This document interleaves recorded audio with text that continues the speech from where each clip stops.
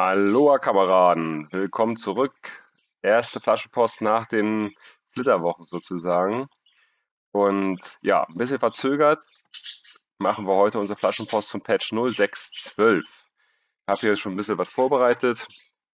Ähm, ihr seht es, geht hier quasi um die zweite Runde schon. Das heißt, wir sind einfach ein Ticken spät dran und ja, naja, was soll's. Ähm, ich hol's einfach gerne mal nach. Ja, ihr habt sicherlich schon viel äh, verschiedene Sachen gehört mit diesem Halloween-Event, äh, was da jetzt kommen wird. Dann diese Nebelmechanik-Geschichte und die Clangefechte, das sind die drei Top-Themen von dem nächsten Patch. Wann der genau kommt, ist jetzt noch nicht so hundertprozentig klar. Wir gehen jetzt im Moment davon aus, dass das nächste Woche sein wird, dass wir mal kurz auf den Kalender gucken. Wir haben heute den 14. Oktober. Das heißt, es könnte dann wahrscheinlich der 19. Oktober sein. Könnte sein.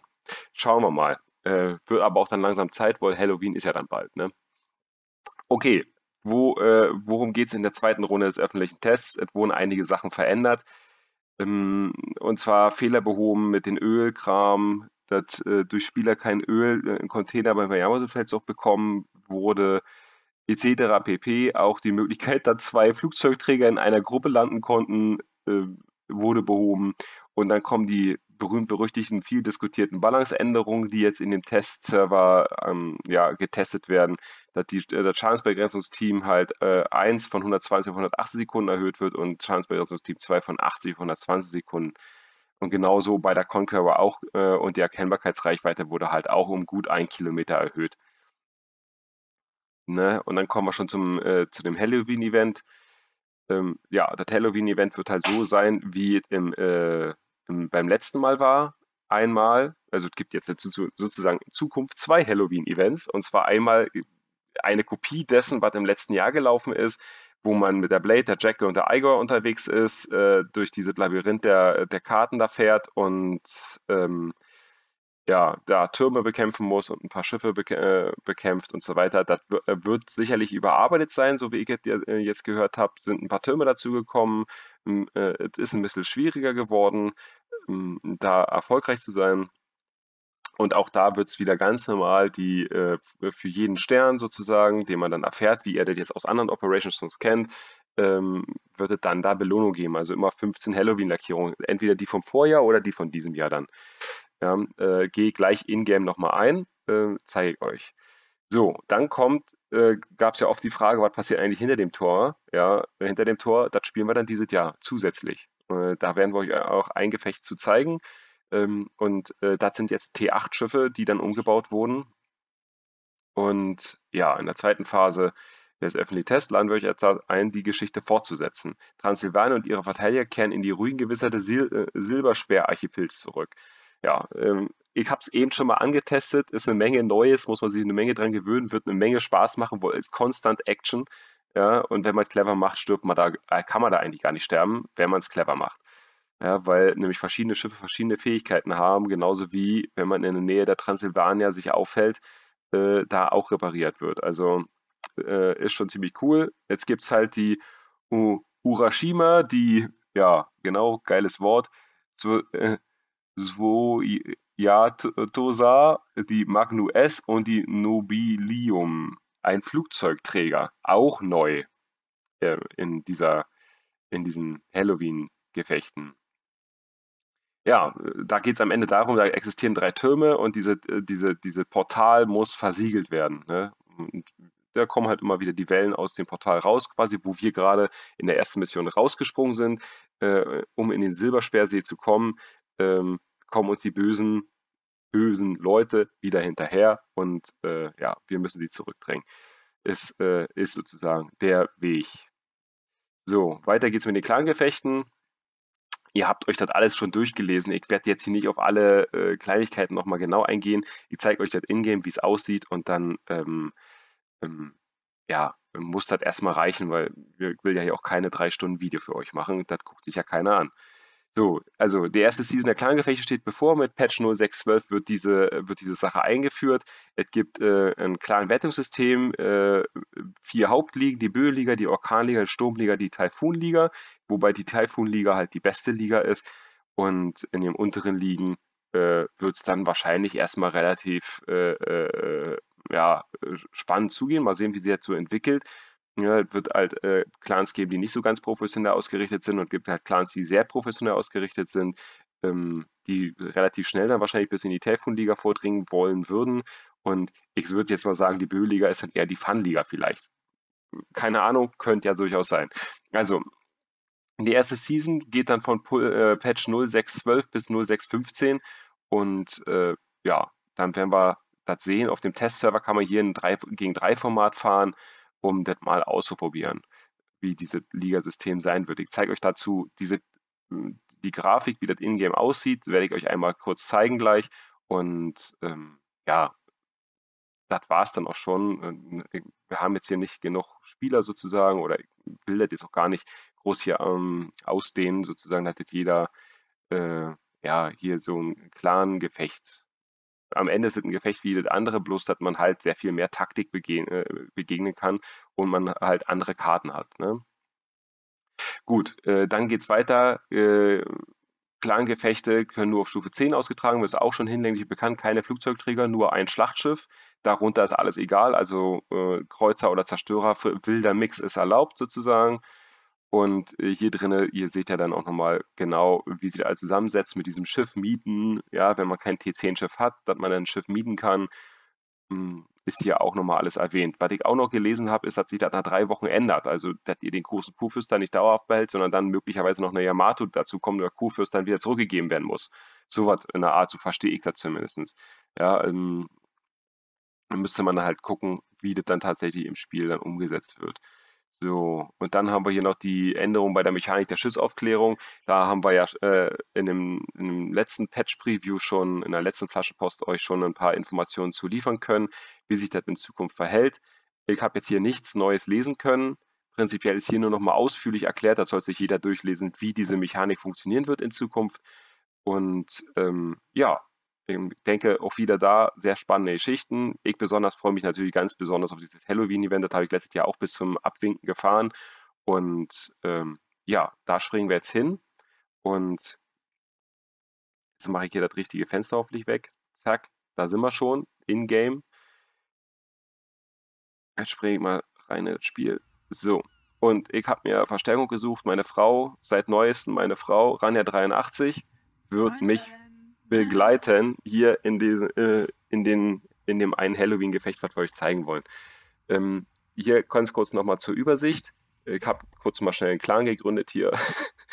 ähm, ähm, diese Übersicht mit, diesen, mit der Liga sieht jetzt quasi dann neu aus. Ne? Also man sieht hier, das kennt ihr ja alle schon, hier an der Seite ist diese, ja, das Abzeichen in der Liga, in der ihr fahrt und in welcher Gruppe der Liga ihr seid, weil jede, jede Liga sich nochmal in Gruppen unterteilt. So, Clan-Battles. Hier kommt es dann äh, zu so einer Übersicht, wie viele Battles, wie viele Siege, äh, Season Record, egal, etc. pp. Das ist, das äh, ist dann alles selbsterklärend, wenn ihr dann da erstmal ähm, dran teilgenommen habt. Dann gibt es das sogenannte Clan-Rating, da seht ihr dann auch wie die verschiedenen Ligen in, in der Übersicht, ja. Hier ist äh, Squall League, äh, äh Jail League, Storm League etc. pp. Hier haben schon viele Leute haben schon geübt und äh, haben sich damit auseinandergesetzt. Und dann gibt es hier natürlich Bewerbungen in Weiz. Das ist, das äh, ist die übliche Geschichte. Also da nichts so Neues. Ne, nette, nette Geschichte. So, kommen wir jetzt aber zurück äh, zum Halloween-Event, was ähm, äh, wir hier noch zeigen möchten einmal schützt die Transsilvania. Also prinzipiell ist es ja halt jetzt so. Ich gehe, war jetzt ein bisschen zu zügig. Äh, ihr kennt ja die Operations bereits, wie das alles sich so aufbaut. Und in Zukunft haben diese Sachen halt jetzt hier ihren, ihren, ihren Platz. Ne? Die Schützi Transsilvania ist das Event vom vorigen Jahr und hat jetzt auch hier seinen Platz mit diesen fünf Sternen. Ne? Pro Stern kann man hier auch sehen, 15 Typ 3 Halloween-Lackierung, Typ 2, äh, also zwei Sterne heißt nochmal 16 Halloween 2016 Lackierung, ähm, und drei Sterne gibt nochmal 15 von jeweils beidem. Der vierte Stern gibt 25.000 Elite-Kapitäns-EP und der fünfte Stern 24 Premium äh, Stunden Premium-Konto. Das ist bei allen Operations mehr oder weniger sozusagen das gleiche. Ähm, was ihr ja auch schon mitbekommen habt, ist, wenn das es das Unternehmen der Woche ist, ja, äh, dann könnt ihr durch dann müsst ihr nur zwei Spieler sein, obwohl das Event mit sieben Spielern gefahren wird, weil dann fünf hinzugewürfelt werden aus dem Zufallspot. Wenn es aber nicht das Unternehmen der Woche ist, dann müsst ihr sieben Spieler, respektive vier Spieler, ähm, also wohl Mindestteilnehmeranzahl ist vier, äh, zusammen haben, bevor dieses Event überhaupt starten könnt. Nur bei dem Event der Woche ist es halt möglich, durch Zufall andere Spieler hinzuzuwürfeln. So, und jetzt kommen wir zu diesem neuen Event. Das ist dann Sunray in the Darkness. Und das ist hier auf dem Testserver so dargestellt, dass man pro Stern einen Container bekommt. Das bedeutet, wir wissen überhaupt nicht, was da konkret drin ist. Das ist hier auch nicht groß angekündigt. Im Moment ist hier jeweils ein Container pro Stern. Ob sich das im Live-Server nachher nochmal ändert, wissen wir nicht. Äh, kann sein, kann auch nicht sein. Äh, äh, nach meinem Kenntnisstand ist da nichts weiter angekündigt im Moment. Wie alles, was wir euch zeigen, ist das hier, wie gesagt, Testserver heißt immer subject to change. Kann passieren, dass sich das alles noch irgendwie umdreht, umändert. Weiß der Geier was. Ähm, also, es ist jetzt nur mal ein Preview. Es könnte so kommen. so könnte man das sagen. Ne, auch hier hat man dann die Möglichkeit hoch oder normal. Hoch geht noch nicht, also bleibt man nur bei normal. Und äh, das Event ist schon ausgewählt. Hier ist jetzt ein, ähm, ist das hier ist der Zerstörer sozusagen. Das ist, glaube ich, eine Kagero angelehnt sozusagen. Angelehnt an die Kagero. Tier 8. Dann haben wir einen Kreuzer. Jetzt muss ich gerade mal gucken. Ist das eine Chapayev? Ja, sieht aus wie eine Chapayev, glaube ich. Ja. Und dann haben wir eine umgebaute Tierpitz. Sieht ziemlich geil aus. Vor allen Dingen, wenn er dann, wenn man dann im Gefecht ist, weil er dann alles blitzt und leuchtet und blinkt und macht und tut.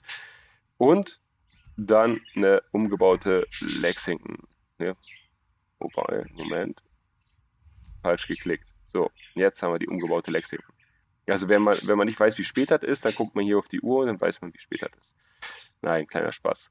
Ähm, die Flugzeuge haben jetzt hier so nette Flügelchen, alles so ein bisschen märchenhaft, bisschen überzeichnet, ein bisschen überzeichnet ist gut. Ähm, ja, was jetzt aber neu ist bei der ganzen Geschichte ist, die haben alle spezielle Fähigkeiten. Jedes Schiff hat spezielle Fähigkeiten. Ich habe die jetzt hier noch gar nicht ausgebaut, aber fangen wir beim Flugzeugträger an. Also die Torpedobomber, Brandbomber und so weiter, alles ganz, äh, alles ganz normal. Aber zusätzlich zu dem äh, Damage Control Party, also zur Schadensbegrenzungsteam, haben die jetzt hier Verbrauchsmaterial. Und zwar Shining 1 heißt Restores 250 HP per second for all Allied chips. Its uh, efficiency doubles uh, when you deal 50.000, 100.000, 200.000, 400.000 uh, HP of Damage. Bedeutet quasi, äh, wenn du das auslöst oder wenn der Trägerpilot das auslöst, dann gibt es 250, äh, 250 HP pro Sekunde für alle alliierten Schiffe und dieser Effekt verdoppelt sich, wenn der Träger 50.000 äh, Damage gemacht hat, verdoppelt sich nochmal, wenn er 100.000 Damage gemacht hat, nochmal, wenn er 200.000 und nochmal, wenn er sich 400.000, äh, wenn er 400.000 Damage zusammen hat. Also heißt, bei 50.000 haben wir dann schon 500, bei 100.000 haben wir dann 1000, bei 200 haben wir dann 2000 und ähm, bei 400 haben wir dann 4000 HP pro Sekunde, die wieder aufgebaut werden für alle alliierten Schiffe. So, und dann gibt es Eclipse 1. Eclipse 1, Engine and all types of armament uh, of all enemy ships become incapacitated. Bedeutet quasi, es wird alles an Panzerung und an äh, Engines, oder nee, nicht an Panzerung, sondern an Bewaffnung und Engines, also am, am der Motor wird stillgelegt und die Überwachung wird stillgelegt. Und zwar für 15 Sekunden, Nachladezeit 40 Sekunden. Das ist natürlich richtig geil, weil man kann man hier nämlich nochmal erweitern. Gibt natürlich noch ein zweites Modul davon. Ja, und wenn man das dann einbaut, dann ist die Nachladezeit 30 Sekunden. Man hat sechs Ladungen und ist aktiv für 15 Sekunden. Das ist eine richtig geile Geschichte. Wenn man das vernünftig teilt und in einem guten Team fährt, ich glaube, dann ähm, ergänzt sich das sehr gut mit dem nächsten Schiff, was ich euch zeigen möchte. Und das ist das Schlachtschiff, äh, die Magnu S, die auch spezielle Fähigkeiten hat. Die ähm, hier hat dann das Energy Shield, Ships becomes in, äh, das kann ich gar nicht aussprechen, invulnerable to any type of damage uh, except of the filth.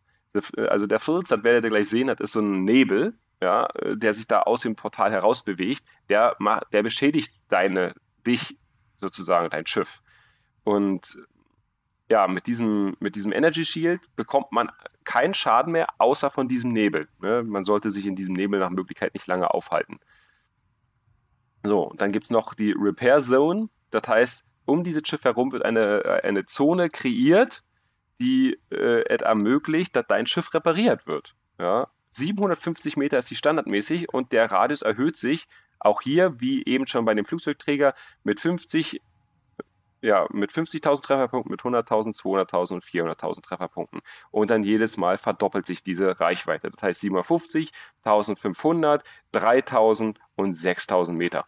Ne? Um das Schiff jeweils herum. Also äh, zumindest lese ich das so. Ja? Radius of the area, äh, when you deal und so weiter, 1000 HP of damage. Doubles. The area doubles. Ne? Das ist für mich der, äh, der entscheidende Punkt. So, kommen wir zum Kreuzer. So, beim Kreuzer haben wir auch wieder die Sonderfähigkeiten Surveillance Radar 3, Detection Range of Ships 15 Kilometer. Ja, auch da gibt es dann wieder zwei verschiedene Varianten mit 45 Sekunden aktiv und 45 Sekunden Nachladezeit oder 45 Sekunden aktiv und 60 Sekunden Nachladezeit kostenlos oder dann halt wie immer 22.500 Silber ist bei allen Dingern gleich. Oder eben Dublonen. Wenn man Dublonen zu viel hat, immer raus damit. Sozusagen. Ähm, ja, also einmal ist das hier halt Aufklärung und dann haben wir noch die Inversion Charge, die äh, die Nachladezeit der Hauptbatterie erhöht und die Restores the Ships HP bei 25% of the Cost Damage. Das heißt, 25% des Schadens, den du in der Zeit machst, wo das Ding aktiv ist, werden deine Trefferpunkte wieder aufgebaut. Auch eine geile, äh, eine geile Sache. Also ihr seht schon, äh, an, an Heilung schade, äh, mangelt es hier eigentlich nicht. Wenn man sich vernünftig abspricht, kann man hier gut überleben. Ja, wird sicherlich nicht einfach, ja, vor allem wenn man ein zufallsgeneriertes Team fährt, wird es sicherlich nicht so einfach, sich da abzusprechen. Aber man kann es. Äh, vor allem, wenn man halt im Clan ist und dann sieben Leute zusammen hat oder so, dann äh, wird das bestimmt richtig, richtig lustig werden. Wir werden hier garantiert mal so einen Fun-Abend machen und äh, den dann bestimmt auch live übertragen. Also da könnt ihr euch jetzt schon drauf freuen. So, und zum, äh, zum, zum Schluss kommen wir dann hier zum Zerstörer. Der Zerstörer, äh, eine umgebaute Kagero mit Flügeln. Ja, äh, winke, winke. Und ja, hier haben wir auch nochmal drei Module. Das nennt sich dann Stream Torpedo Rammer, äh, also die ähm, reduziert die Nachladezeit der Torpedotubes ja, aktiv für eine Sekunde nach äh, bis dieses Verbrauchsmaterial wieder zu nutzen ist, 120 Sekunden oder dann eben 90 Sekunden, wenn man das Zweier-Modul einsetzt. Äh, ist ganz einfach, die Torpedos werden schneller nachgeladen. Punkt. Ich weiß gar nicht genau, wie viel, wie viel schneller. Müsste man mal ausprobieren. Habe ich jetzt gerade nicht parat. Äh, dann gibt es ein Anti-Guidance-System. Enemy shop, äh, äh, Ships stop, stop firing their main guns at your ship. Ja, das heißt, quasi die Gegner schießen nicht mehr auf dich, wenn du diese Sache ausgewählt hast. Ist aktiv für 40 Sekunden bei 60 Sekunden Nachladezeit oder 40 Sekunden bei 45 äh, Sekunden Nachladezeit. Hier mit einer 6er Ladung, ich glaube, den Kapitän, nee, habe ich noch nicht geskillt. Das heißt, wenn man hier ähm, den Inspekteur mit, äh, mit skillt, da hat man hier sieben Ladungen. Ja, also das ist dann schon ganz geil. Und als, ein, als das einzige Schiff, was das überleben kann, in den Nebel reinzufahren sozusagen, oder was das ermöglicht, es wird ihm ermöglicht, in den Nebel reinzufahren und, und nicht sofort zu sterben oder Schaden zu nehmen, ist halt die Filthery Engine Boost. Ja, bedeutet am Ende nichts anderes. Jetzt versuche ich das hier mal. Increases the maximum speed of the ship, ist klar, also wird schneller das Schiff und es äh, stellt 25 HP per Second wieder her, äh, wenn man im Nebel ist also in, diesem, in dieser Giftwolke. Und dieser Effekt wird eben auch verdoppelt, wenn man 50.000, 100.000, 200.000 und 400.000 Schaden gemacht hat. Ja, das sind die Möglichkeiten, die die neuen Schiffe haben. Ihr habt jetzt alles mal optisch gesehen. Und ja, ich denke mal, wir fahren jetzt mal schnell eine Runde. Und ich werde mir äh, mal das Schlachtschiff nehmen. Ich habe jetzt noch gar nichts groß hier vorbereitet. Ich werde aber äh, mir halt trotzdem mal hier diese, äh, auf jeden Fall schon mal die zwei Module schnell einbauen. Zack, zack, zack. Ähm, Hauptbewaffnungsmodifikation, ja. Ich mache jetzt hier einfach mal schnell durch, dass ihr halt dann äh, einen, einen Effekt seht, was äh, hier möglich ist. Jetzt müssen wir mal gucken, was äh, Sekundärreichweite 5,3. Hm, okay. Ja, ich mache jetzt hier weniger Streuung rein. Ich weiß nicht, ob das jetzt optimal ist. Ich habe mich damit jetzt ehrlich gesagt noch nicht beschäftigt. Hm, das muss dann auch jeder für sich wissen. Das ist ja dann eine Menge Zeit. Ihr könnt ja den Testserver auch noch dieses Wochenende benutzen, so ein bisschen. Und ähm, ja, ich erhöhe die Reichweite. Und dann gibt es die Schadensbegrenzungsteam, packen wir da rein. Und dann haben wir hier hm, jetzt mal gerade, Ruderstellzeit ist bei 16 Sekunden. Und hier, okay, dann werden wir mal die, ja, die Steuergetriebe-Modifikation nehmen. Und hier packen wir das Zielerfassung. Ja, machen wir das. Okay, dann hätte ich dann brauche ich noch schnell den Kapitän. Das ist ja ganz einfach, Beschussalarm. Dann natürlich Adrenalinrausch, wie sie dort auf dem Schlachtschiff gehört. Äh, dann den Inspekteur rein, damit ich das häufiger nutzen kann. Und äh, ich glaube, dann gehen wir mal auf Sekundärreichweite. Tarnung brauche ich hier nicht. Zumindest schätze ich das jetzt einfach mal, dass ich das hier nicht so brauche. Ist ja. So.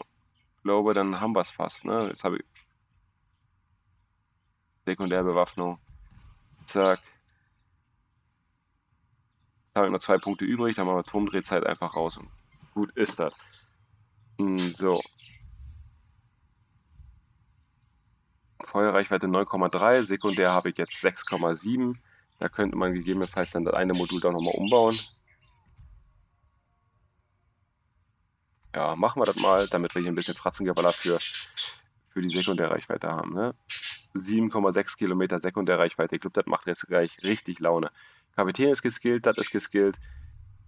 Jetzt können wir hier noch ein bisschen Flaggen raufbasteln, wenn wir das denn wollen. Trefferpunkte wiederherstellen. Und machen wir einfach mal, mal gucken. Dauer bis zum Löschen des Brandes kann immer helfen. Und dann haben wir wiederholt äh, bei Wassereinbruch bis mal gucken, ob die auch torpen. Höchstgeschwindigkeit des Schiffes äh, bauen wir auch mal aus. Ja, lassen wir mal so. Nachladezeit. Ja, erstmal so, einfach so ein bisschen aus Spaß hier. Flaggen habe ich hier keine ver verfügbar. Äh, Ranja ist schon soweit, hat, ihr, hat ihren Kreuzer ausgewählt. Ich bin jetzt auch so bereit. Hier unten, was jetzt noch auffällt in der Grafik ist, es gibt einen neuen Haken, Pick Up Allies. Ähm, heißt quasi, äh, wenn ich den Haken reinsetze, werden die restlichen Ränge äh, aufgefüllt mit anderen Leuten, die das auch gerade spielen wollen, wenn ich hier um Gefecht drücke. Wenn ich den Haken rausnehme, geht der Button hier sofort aus, ja, weil ich das dann, weil das dann bedeutet, dass ich quasi ähm, die ganzen Positionen hier mit klaren eigenen Leuten oder Leuten, die ich kenne, äh, auffüllen möchte. Möchte ich jetzt aber nicht, ich möchte euch ja zeigen, was hier abgeht. So, wir haben das alles. Attacke. Auf ins Gefecht. Hoffen wir aber, dass wir schnell ein Gefecht finden. Ja, hat er schon direkt ein Gefecht gefunden. Hier ist die Karte. Hier kann man sehen, die beiden Türme, das ist quasi das Portal, wo wir jetzt drauf warten. Wir haben dabei einen Zerstörer, drei Schlachtschiffe, einen Kreuzer und zwei Zerstörer. Wichtig ist halt jetzt, dass jeder genau das macht, wofür er halt vorgesehen ist. Ja, äh, Defensive Great Towers until they seal the portal to the Lost Dimension. Ja, ihr werdet gleich sehen, da gibt es dann so riesen Laserstrahle, die dann, die dann direkt in dieses Portal reinhalten, bis es dann halt verschlossen ist. Ich glaube, zehn Minuten oder so lange dauert das ungefähr. Und nach Möglichkeit sollten die Türme, die diesen Laserstrahl abfeuern, natürlich nicht sterben oder zerstört werden. So, da sind wir schon. Ja, hier seht ihr die, äh, die Tower. Ja, drei Stück.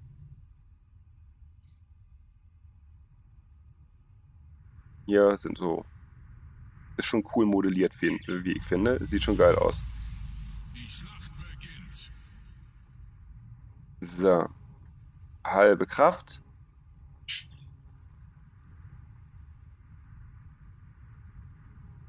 Fahren wir mal drauf zu, müsste jeden Moment losgehen.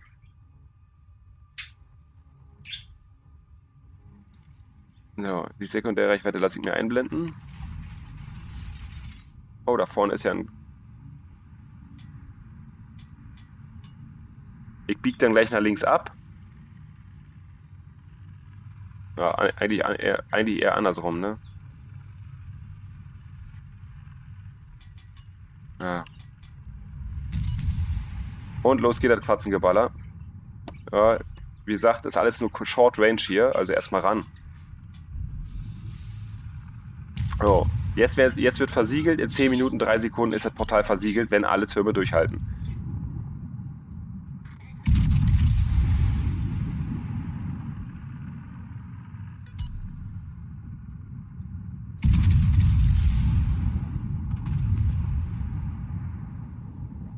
Und ihr seht jetzt da, ist, die grün, äh, ist so eine grüne Nebelwand. Das ist der Nebel, den quasi die Gegner hier ähm, jetzt droppen. Ja.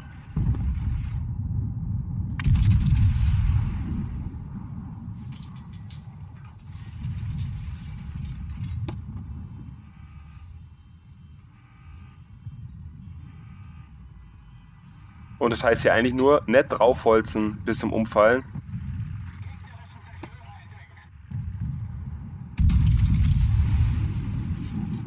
Brauchst du immer schön in der Nähe bleiben, ne? Dann kannst du nämlich nachher mit geheilt werden von mir.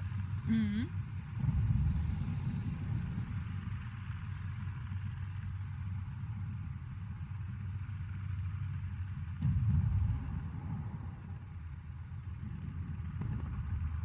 Ja, im Moment ist das alles noch überschaubar.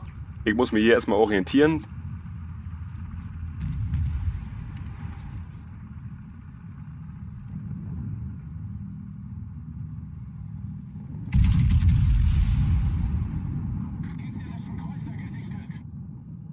Oh je.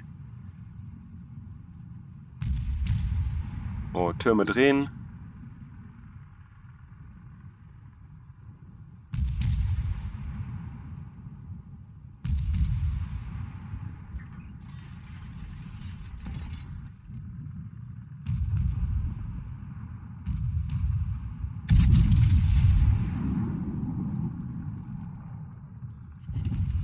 Jo, guter Treffer. So, ich will jetzt endlich mal dann ein paar Schiffe in der Nähe haben, wo ich endlich mal ein bisschen Fratzengeballer machen kann, ne? Jo, immer wenn sie soweit sind, dann sterben sie mir.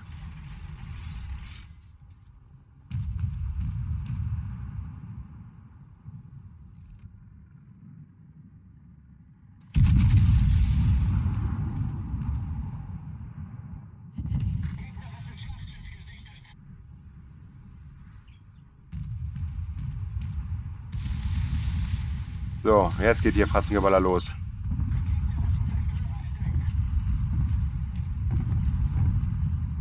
Ich gehe auf die Varig. Okay.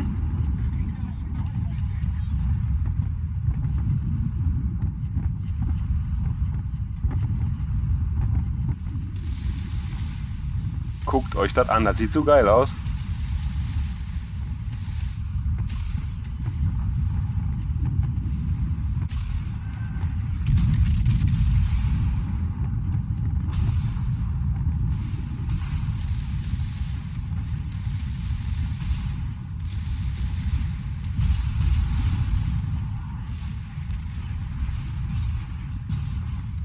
Ich habe hier reingeworfen für den Zerstörer. Okay.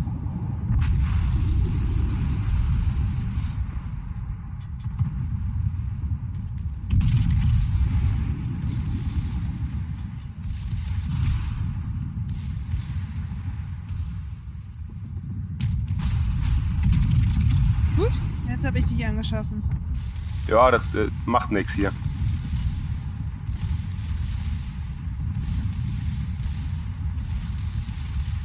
Hier ist irgendwo so ein Mini-Zerstörer. Ich kann nichts tun, weil du vor mir. Ja, alles gut. Den habe ich gerade platt gemacht.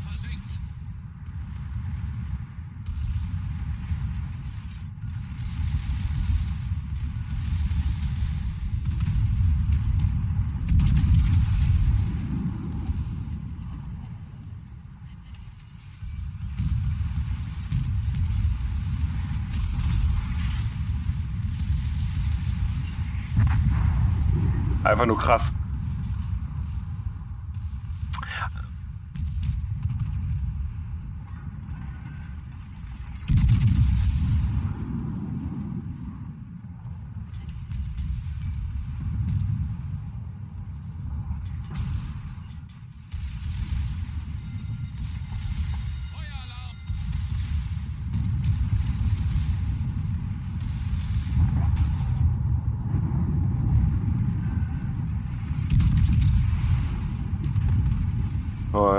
Schön manuelles Sekundärfeuer, dann kannst du das immer schön steuern hier.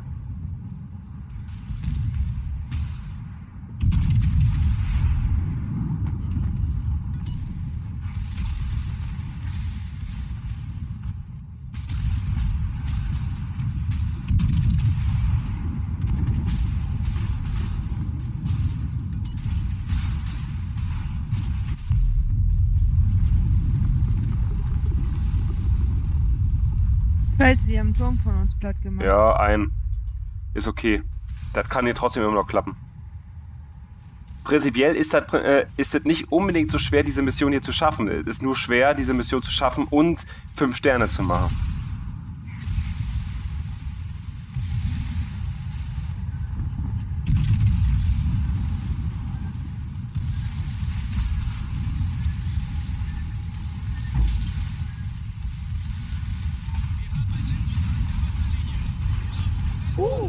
Warte, Maus. Kriegst ihn hier. Ups, ja. da ist ja Rasputin. Uh, total geträumt. Ich hätte gerne gekommen. Ja.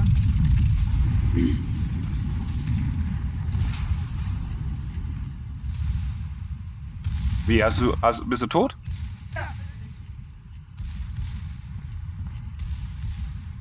Dein Heal hat irgendwie nicht so funktioniert. Ja, du, äh, es hat funktioniert, aber der Schaden von dem, von der Rasputin war zu stark.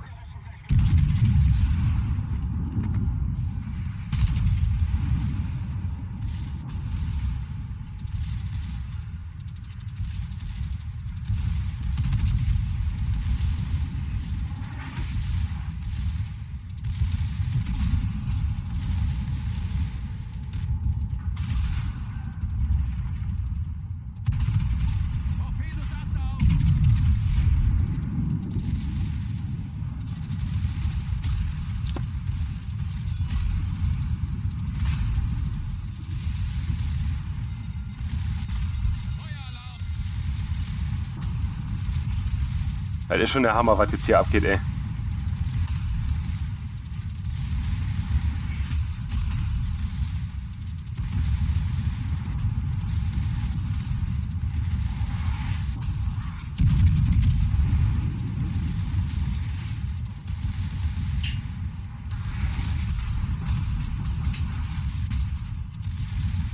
Unser zweiter Turm wird angegriffen.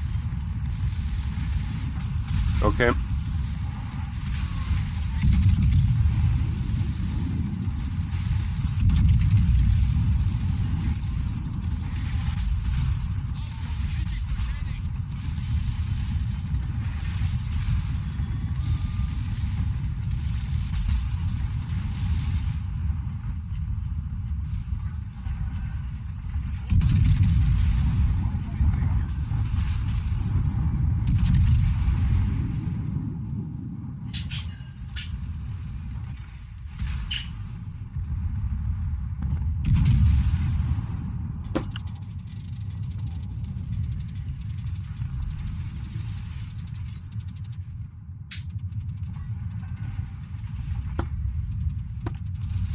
Kriegt die Transylvania eventuell. äh, Nee, doch nicht. Ah, 3 Minuten 30 noch überleben. Ja, der Turm wird noch wieder angegriffen. Hinten von der Thompson und von einem.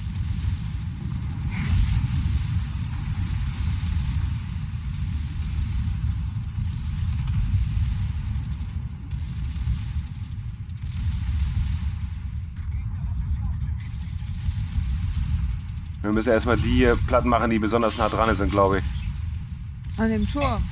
Ja, ja, an. Wir haben ja mehrere Türme. Ja, und alle sind am nächsten an dem einen Tower hier vorne. Da wo die Torbs jetzt vorne rauslaufen. Ja.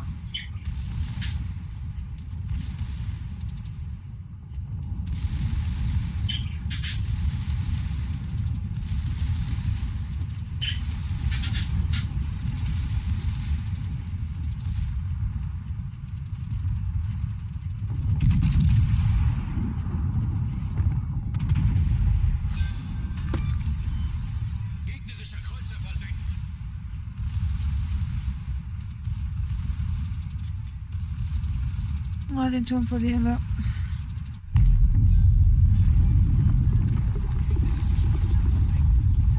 Jetzt ist die Zeit um 8 Minuten nach oben gestiegen. Ne, um vier. Ja, also ab 8 Minuten wieder. Ja, hier in der Mitte steht 4 Minuten 14, bis, das sie, äh, bis der Turm, bis das hier alles äh, erledigt ist. Hm.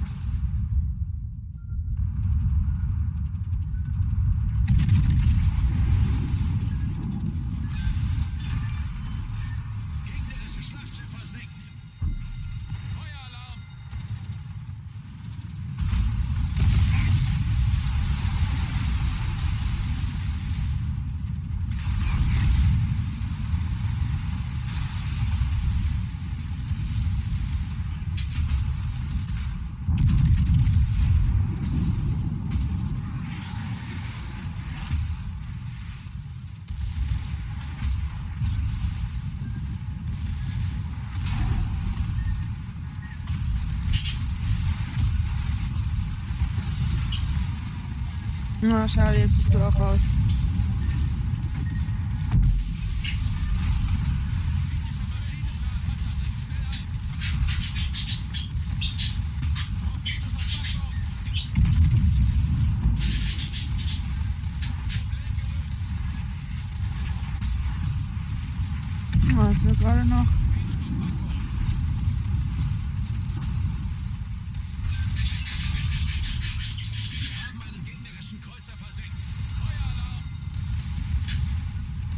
Jetzt aber. Ich glaube, das schaffe ich jetzt nicht mehr, oder?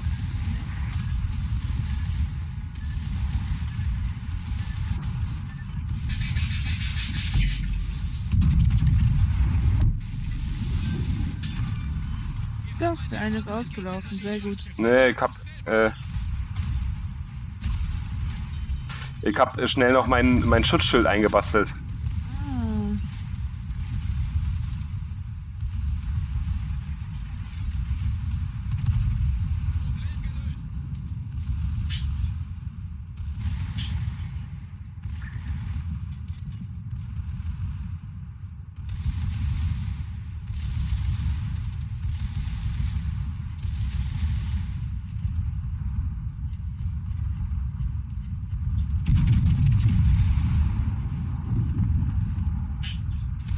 Boah, ey. Great Gordon ist ja der absolute Hammer. Ja. Der kann einiges ab.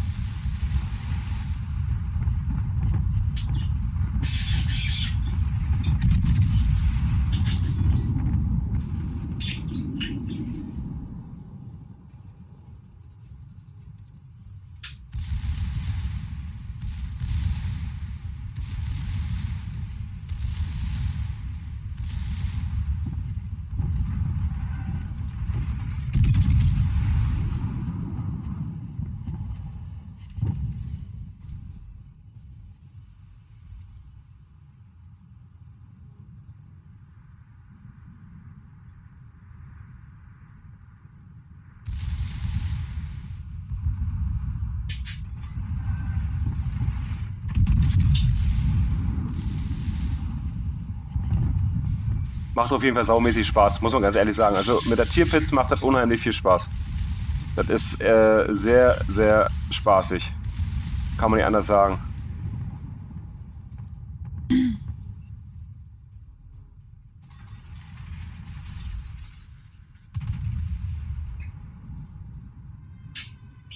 Oh, wir haben noch 25 Sekunden, dann ist das Portal gesiegelt.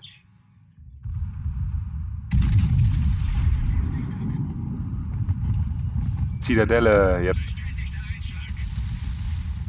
Und acht Gegner, nee, neun Gegner müssen jetzt noch im Nebel kaputt gemacht werden. Nee, wenn der Siegel, äh, wenn das Siegel geschlossen ist,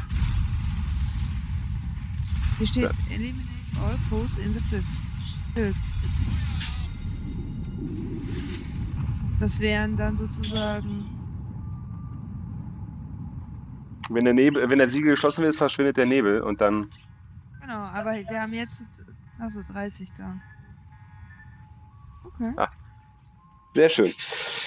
Das war ein so ein äh, funny Gefecht. Ja? Und man sollte den ganzen Kram nicht zu ernst nehmen, aber äh, für fünf Sterne muss man noch, äh, muss man zwei Türme jetzt noch behalten. Sonst haben wir jetzt schon vier Sterne gemacht. Also mal gucken, ob das jetzt tatsächlich so äh, auf den Live-Server kommt. Aber ja, also da ist eine Menge Absprachepotenzial da und äh, dann ist es sicherlich unmöglich, ohne viel Verluste da durchzukommen. Man muss ja erstmal die ganze Orientierung sammeln, welche Punkte sind wann wichtig und so weiter. Jetzt war jetzt nur ein Vorführeffekt, ähm, damit ihr das einmal seht. Und ja, das sollte jetzt quasi dann auch schon gewesen sein äh, von diesen äh, von dieser Aussicht, von diesem Preview auf den nächsten Patch, der wahrscheinlich dann nächste Woche am, ähm, wenn ich mir recht äh, entsinne, 19. Oktober auf unseren Servern kommt. Das ist nicht offiziell, das ist nur eine Schätzung von mir, beziehungsweise die Information, die man so hm, von überall her bekommt. Also nagelt mich darauf bitte nicht fest. Ähm, ich, ich sehe aber gerade, ich- wir können euch noch einmal zeigen, wer in den Containern dann so drin ist, die man da bekommt. Also, Übrigens bekommt man die nur, wenn man überlebt hat. ja. Weil ich habe keinen einzigen Container bekommen. Okay, gut. Gut zu wissen. Äh, das noch eine wichtige Information. Wenn man also überlebt hat, dann kriegt man Container. Wenn man nicht überlebt hat, dann kriegt man keine. Ist auch ein bisschen fies, finde ich, aber gut. Gucken wir uns jetzt die Container an. 15 mehr Halloween.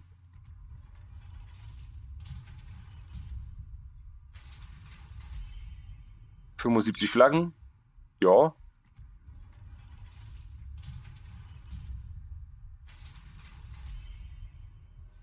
Sonderlackierung Sturmwind. Uiuiuiui. 15 Stück. Und